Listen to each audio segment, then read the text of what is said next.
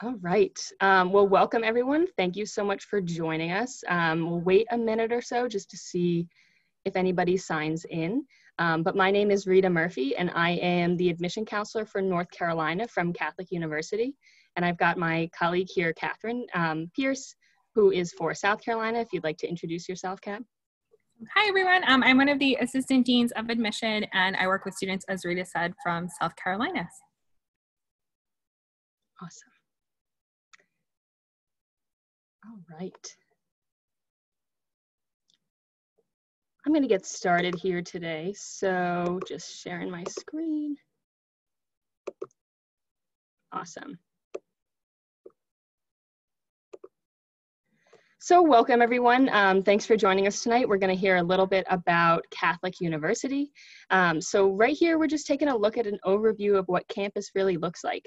Um, so we are here in DC itself, um, but we are in the neighborhood of Brookland. So we've got about 176 acres of green space. So lots of green space for students to spread out um, and really have that traditional campus feel.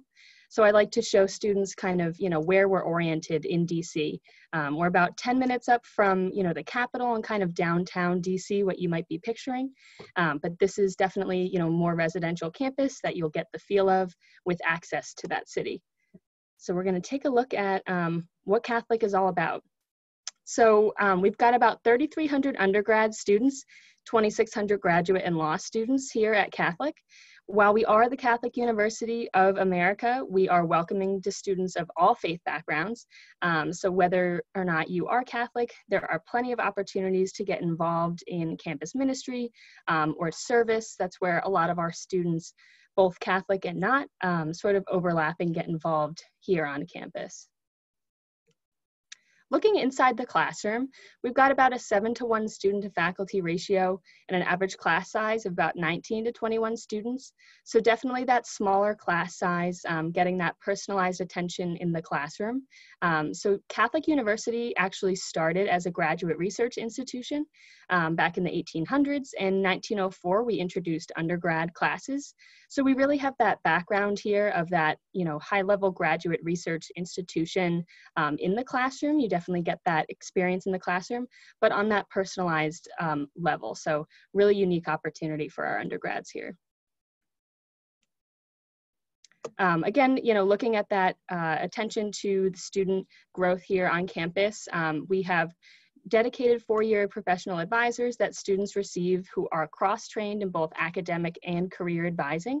So they stick with students um, for all four years of uh, here at Catholic University, helping to choose a major, uh, choose your classes, and then all the way to looking for internships, post-grad opportunities, um, working on cover letters, inter, uh, interviews, anything like that. So you really get a lot of support uh, here at Catholic, both in the classroom and just on campus. So just to take a look at what's going on here at Catholic, we've got a short video for you here just to kind of give you a nice little overview.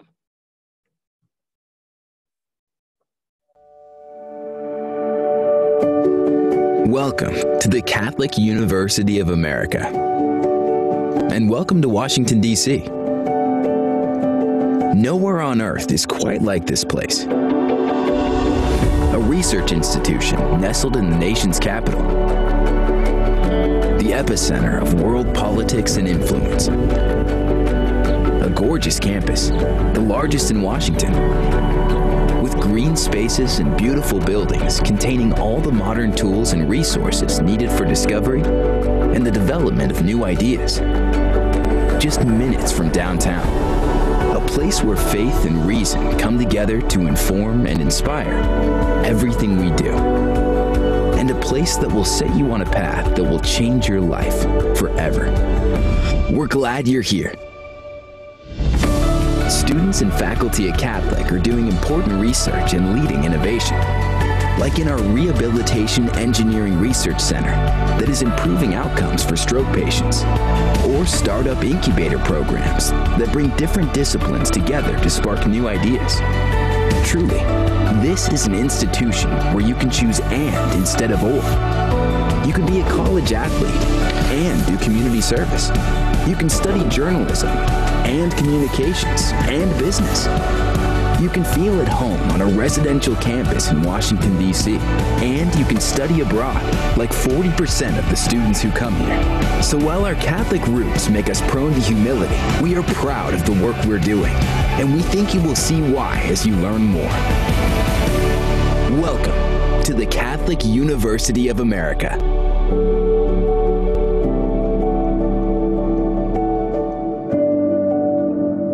Awesome. So that kind of gives you a nice little picture of um, just how many opportunities we have here for, for uh, students. Um, so we are a liberal arts uh, school here. So we've got a liberal arts core that students will complete during their time here at Catholic. And part of that includes what's called first year experience. So this is for all freshmen um, to experience together. That is four different classes that you'll take with the same group of 18 students.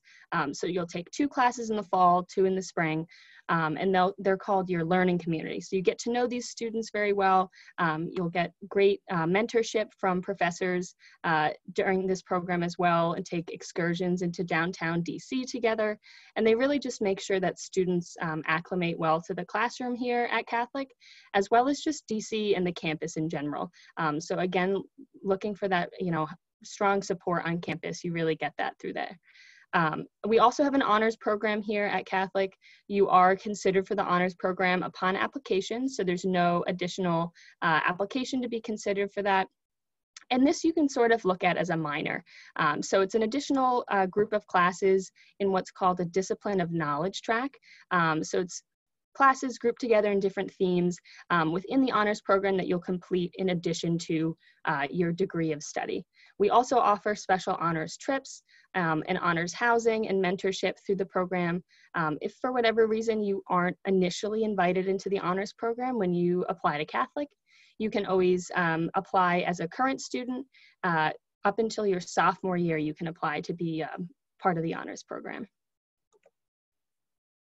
So taking a look at all the opportunities here academically, we've got nine undergraduate schools of study here at Catholic, so lots to choose from. Um, some main things I will point out to you, so the School of Arts and Sciences, some of our popular majors within there are politics, uh, criminology, psychology, um, media communication studies, education, the natural sciences, so lots of options within there. Um, next up is the Busch School of Business. Um, we have all the Bachelor of Administration, uh, degrees within there, accounting, um, uh, strategy, management, and operations, marketing, um, and then we've got the School of Engineering, which also has um, so many options within there, uh, computer science, biomedical engineering, civil engineering, uh, and the reason why I mentioned these three schools together is because each of them have an exploratory option. So because there are so many options within there, we do give students the chance to apply into those schools, but under an exploratory or undecided major, um, which is a really nice chance for you know students who might be interested in business or engineering who haven't really had um, the access to those classes in high school and aren't quite sure you know exactly where they'd like to hone in their interests you can start on the track of, of getting those business classes under your belt, um, be on track for that business major. But again, you don't have to choose that until sophomore year. We also have a School of Architecture and Planning. Um, one great option within the School of Architecture is what's called the IPAL program. So students who know that they'd like to get their license in architecture um, can apply to be in the IPAL program. So this is the Integrated Path to Architecture Licensure. So an it's an accelerated program where students can get their license in about seven years or so, um, as opposed to 12 to 13 years, um, which is the normal time span. The School of Architecture and School of Engineering are really great with getting students hands-on experience in the classroom um, or studio space right away. So you really get to know if those majors are right for you. Next up is the Conway School of Nursing. This is our most competitive school here at Catholic because we do have a cap on the number of students who can be involved in this program. Um, if you are interested in applying to nursing, definitely apply into that school. It's the only school that you can't switch into at a later date. So the, the School of Nursing um, operates where first two years you're technically in what's called exploratory nursing program. So you'll be taking classes um, to understand all the skills needed uh, to be a nurse and then junior and senior year, you'll be completing your clinical work um, with your cohort of, uh, of, of nursing majors around you. Um, we also have a National Catholic School of Social Service, and within this program, we have a Bachelor of Art in Social Work, as well as a Bachelor and Master's um, program that you can get that done in five years' time. Next up is the Rome School of Music, Drama, and Art. Uh, in here, we have a lot of options for studio art, um, drama, as well as Bachelor of Music programs. Um, so if you're interested in any of the Bachelor of Music degrees, that does require an audition. Um, in addition to applying to our school through the Common App, which we'll go through in a bit, um, you will have to complete an audition to be accepted into those programs. Again, if for some reason, if you're not uh, invited into the Bachelor of Music program right away, but you are admitted um, as a Bachelor of Arts in Music, you can always apply back into that program once you get here. Um, Lastly, we have our two oldest schools of study here at Catholic, the School of Philosophy and the School of Theology and Religious Studies. Um, you'll be taking courses in these even if you aren't majoring in them, um, definitely as a part of our you know core curriculum. And that first year experience, you'll be taking two philosophy and one theology classes. Um, so you'll definitely get a lot of exposure to them. And finally, um, if you're interested in any of our pre-professional study tracks, that's pre-dental, pre-med, pre-vet, um, pre-law, and the three plus three bachelor juris doctorate degree. These are all advising tracks, so they're not actually majors, um, but you can, you know, get involved with um, these advising tracks so that you can make sure you're taking the right courses in your undergrad and getting the right volunteer hours and everything for you to be the best candidate um, for those postgraduate opportunities. If you're interested in studying abroad here at Catholic, we have lots of opportunities for that. Um, 96 programs over six different continents our students go to um, each year, rotating. We do um, have a flagship program in Rome that a lot of students take advantage of, which has semester um, and during programs during the year, as well as summer programs. So again, really something for everybody, depending on what you're looking to you know get involved in during your undergrad here at Catholic. Um, but you know in our Rome program we have our own uh, buildings and professors over there right down the street from the Vatican. So really cool opportunity to kind of take Catholic University and bring it abroad with you. Study abroad is open to all majors, um, so we do make sure you know we can work with each student. The study abroad office um, can work with each student to really get them where they'd like to go. Even our nurses with such a you know strict schedule are able to get some summer um, or semester opportunities under their belt. So obviously there's a lot going on in DC, um, but Catholic is definitely not some a campus that you need to leave campus to find something to do. There's always events going on on campus, um, whether that's campus ministry, events for worship, or ministry with other um, students here on campus. Uh, we were able to have our freshman retreat this year virtually, so that was a great opportunity for them to really get to know um, fellow Catholic students, um, Catholic University students. And then we've also got plenty of opportunities for service both on campus and off campus.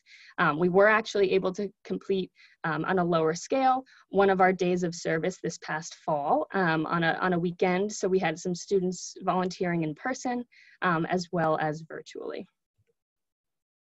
But we do have over 100 student clubs and organizations, as well as 25 D3 varsity athletic teams. Um, so again, really something for every type of student, um, whether you'd like to play on those sports or just cheer on, you know, your fellow Cardinals. Um, we also have intramural and club sports, which a lot of students get involved in. Those are pretty fun um, to do, a little less time commitment, um, but definitely just as competitive if that's what you're looking for. And 30% of our students are student athletes. Um, and actually 100% of our student athletes uh, normally take part in those days of service that I mentioned above. Um, so that's really, really great uh, to see as well. So kind of looking at where we are, as we said, we are in Washington, D.C. itself. So with that comes, you know, all of the chances that you have being in, you know, such a great um, capital city all the resources here. Um, so we are a residential campus. We're the largest self-contained campus in DC with 176 acres of green space. Um, there is plenty, you know, to feel like this is a traditional residential campus, but we do have our own metro stop right across from campus, um, which we will see in just a moment. Um, we do have a three-year residency requirement here at Catholic, so students will live here from their freshman to junior year. And then you have the option to move off campus. Um, you don't have to, we do have the space for students to stay on campus, but you can live in some apartment buildings across the street um, that we have a great relationship with uh, on Monroe Street Market, which also has a ton of um, restaurants, uh, Chipotle, um, Potbellies, a couple other local restaurants, um, as well as our bookstore. They have a farmer's market on Saturday mornings and artist walks on the weekends, um, I believe in the summer. So a lot is going on, you know, just in our direct neighborhood, um, which is nice for students to experience without having to necessarily go um, around DC but if you'd like to. Um, as I mentioned, we do have our own metro stop right across from campus on the Red Line. So this is the train system within Washington, D.C. Um, so you'll see here that it's um, might look a little bit complicated, but um, as a person who grew up outside of New York City, and never really quite got used to the subway system, I can say that this is definitely an easy one um, to pick up on. So really easy to navigate, affordable and accessible for college students. You can really get anywhere within the DMV area. So that's including Maryland and Virginia. Um, so with that comes a lot of opportunity for our students to get, you know, internships during their time here at Catholic. Um, you know, about 60% of our students complete two or more internships before they graduate. And part of that is just the accessibility of being able to get there. You know, you don't need a car or anything like that. Um, but just generally speaking, you know, you can get uh, down to the, the airport right from the metro, the National Mall, museums, um, all the Smithsonian museums, which are free, go out to dinner with your roommates. So definitely a lot to do um, here in DC. And here's just some examples. Um, we have had some great success with our sports teams in the past couple years, so hopefully that will uh, continue for us. Taking a look at, you know, why Catholic University? So we've talked a little bit about, um, you know, that education background and that great support of advising here, as well as that DC location. Um, but something that, you know, you'll get a lot from students anytime you talk to a current student or even a, an alumni um, or even a staff member is that just that community feel on campus. Um, you step onto Catholic and you definitely feel a part of the community. Um, you know, you've got that smaller class size, you do have that access to getting to know your professors um, on a you know more intimate level, um, as well as your you know fellow classmates. So it's definitely a nice community here um, that you'll feel a part of right away. And so when can you apply to be a part of this community? So our deadlines um, come up first is November 1st. We've got early decision and early action. Um, these are, the early decision one is a binding program. So if you, if Catholic is your number one choice and you apply early decision, um, and you get in, then you have to uh, come here. Early Action is a non-binding program, so you can be applying to other schools and still make that decision um, down the line. Our next group of deadlines is January 15th, essentially the same two options, just two different names. So early decision two operates the same as early decision one, that binding process. Um, and regular decision is the same as early action non-binding. Um, some students who want us to, you know, see that entire first semester of classes or grades um, during their senior year do choose to, that later deadline. Um, otherwise, the early deadlines you get to, you know, find out in December um, whether or not you can come to Catholic and have a little bit more time to make that decision. So how do you get here? So looking at the application process, um, what we require for application materials, we require the high school transcript, um, a school report and counselor letter, as well as a teacher recommendation. So we only require the one academic um, recommendation, but if you have an additional teacher or coach or someone outside, um, we will accept that. We just only require the one um, teacher rec. We use the Common Application exclusively, so we require the Common Application essay as well as you know all the activities um, and all of the parts of the Common App there. Um, make sure you know you're letting us know even in the additional information sections um, this year with the COVID-19 specific sections, anything that we need to know to kind of put together the puzzle um, of your high school progression or just what's going on with you. Um, we also have an optional Catholic University statement. So our university specific statement, sort of why Catholic University. So why are you interested in coming here? Um, what are you interested in studying and why? Maybe why DC, anything like that. And there's no required um, amount of words um, or length for this. They're pretty fun on our end to read, and I always recommend um, to students who, you know, Catholic is high up on their list all it can do is help, um, but that is, you know, optional at the end of the day. Lastly, Catholic University does not have an application fee, and this year we are a test blind institution. Um, so we won't be considering test scores at all during the review process, so you won't have to decide whether or not to send um, those scores to us. So as we are reviewing your um, transcript and your application, we want to see you know, your progression through high school. Um, so by doing that, we recalculate your GPA to a 4.0 scale. So we take any of the weight from your AP, honors, or IB courses out of um, those grades to see what you've received in those courses. But don't worry, um, that gets refactored in when we look at strength of curriculum. So um, we uh, assign a score 1 to 10 for each individual student by looking at what's offered at your high school and what you were able to take, what you were able to take advantage of. Um, so, you know, we're able to take the GPA and that SOC score and really determine, you know, your academic abilities um, in the classroom and determine if, if that will be a good fit um, for here at Catholic University. Um, then we're, you know, again, just looking to get to know you and your application. So your activities, your service, any leadership you've been involved in, um, your interest in Catholic University, which, you know, you can uh, put that across in the Catholic University statement. Um, and we also are offering optional interviews this fall. Um, so you can interview with your direct counselor. So Kat or I, um, you can get in touch with us to try to um, schedule an interview. Um, but again, those are optional. Um, it's just another chance for you to ask some questions and for us to put, you know, a face to a name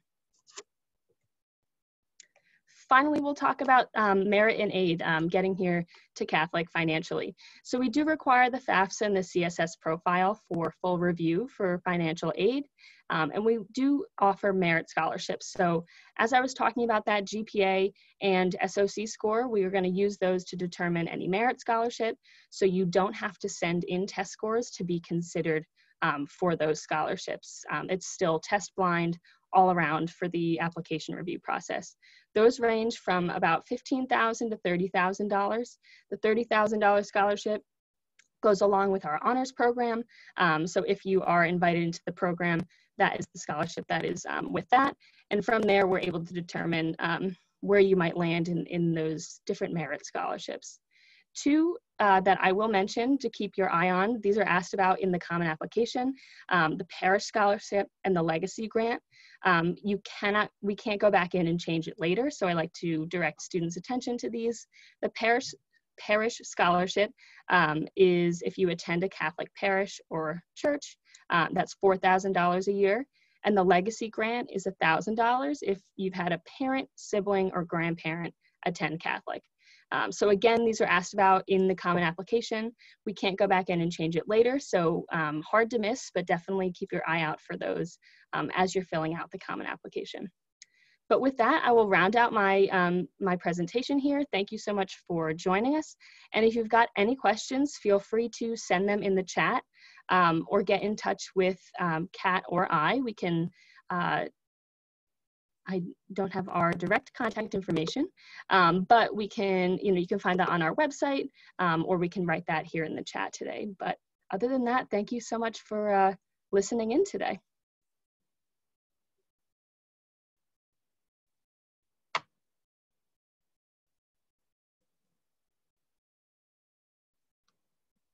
All right.